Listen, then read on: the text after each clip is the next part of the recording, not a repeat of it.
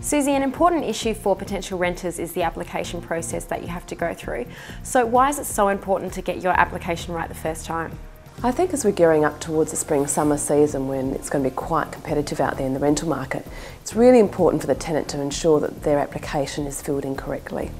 What does the application process involve?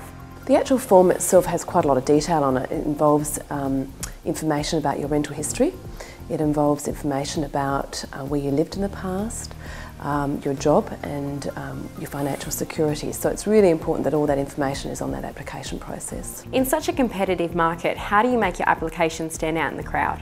I can't stress enough the importance for tenants to fill in the application form in full, ensuring that they actually have the 100 points of ID as well as um, the information about the property they want to rent and the price they want to pay.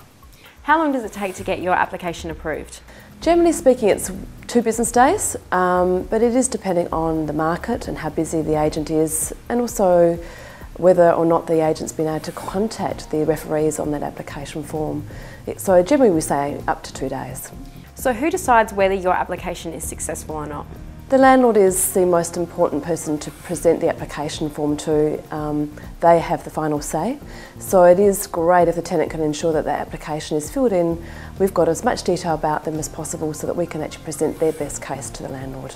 And any final tips for renters? I think if they find the perfect property, if a tenant finds a perfect property, they need to make sure that they get that application in as quickly as possible because we are gearing up to our spring summer season and it's going to be very busy out there for them.